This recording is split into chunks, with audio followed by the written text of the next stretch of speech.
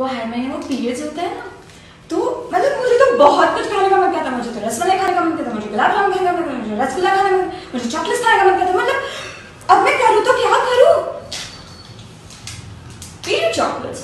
अच्छा जी, मैं तो तुम्हारे हर महीने के पीरियड नखरे से तंग आ गई हूँ। मेरे दोस्त गौतमी कपूर सब तो जानते ही है उसको।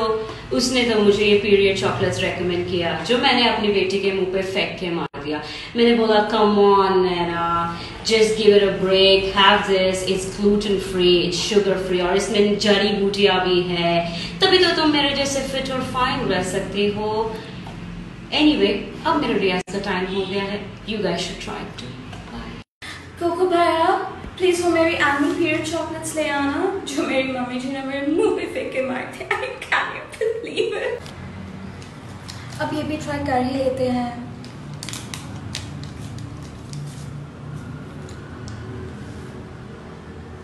Hmm. My mood's uplifted. My cravings are gone.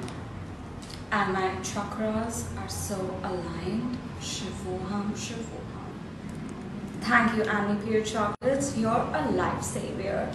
Bye.